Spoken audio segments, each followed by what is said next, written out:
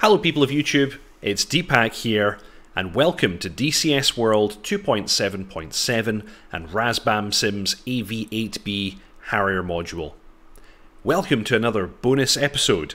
Today I'm going to show you how to create ATHS data link points using mark points on your F10 map. So let's get started. Uh, I have a, a, waypoint quite close to Incirlik Airfield over here and I'm going to create some targets.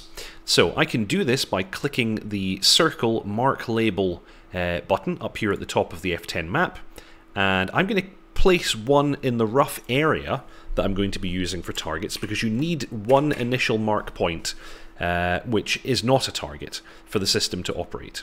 So I'm just going to call it T00 because uh, it's not an actual target and then I can click the circle up here again to place some more.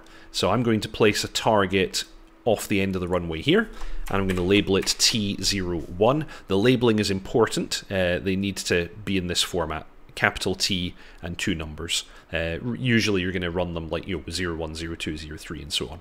So I'll have one there and I'm going to place another down here and this will be T02 and one over here T03, and the last one, just for demonstration purposes, over here, T04. Perfect. Okay, these mark points are all placed. I'm going to return to the cockpit of the aircraft, and I'm going to bring up my knee board. Now, if I flip one page to here, you've got the target list, and it currently says no targets loaded.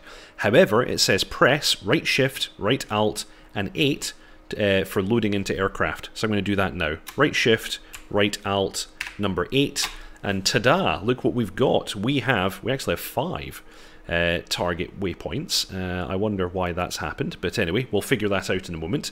So they're showing up in the knee board now, and as soon as they're in the knee board, they will actually be in the data link. So I'm going to take my right multifunction display here, and I'm going to display, uh, where is the CAS page? Here we go.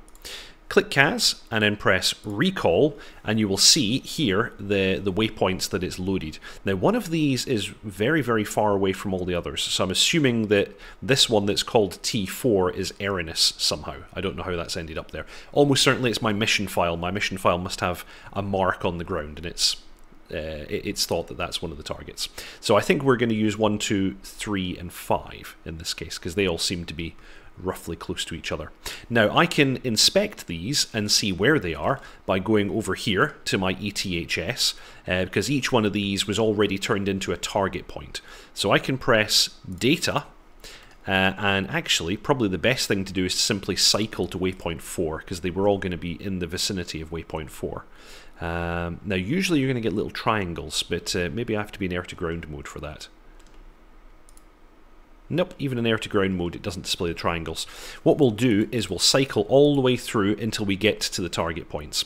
Okay, let's cycle this down, really small. Target point 1 is off the northeastern end of the runway, that's correct. Oh, Oh, I see what it's done. Okay, so target point 1, T00, it has actually identified it as a target point.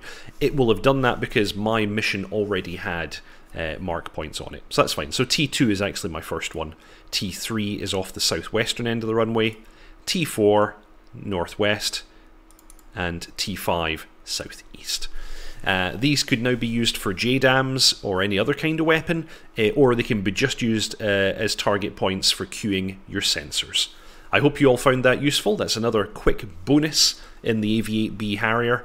I hope you all enjoyed that.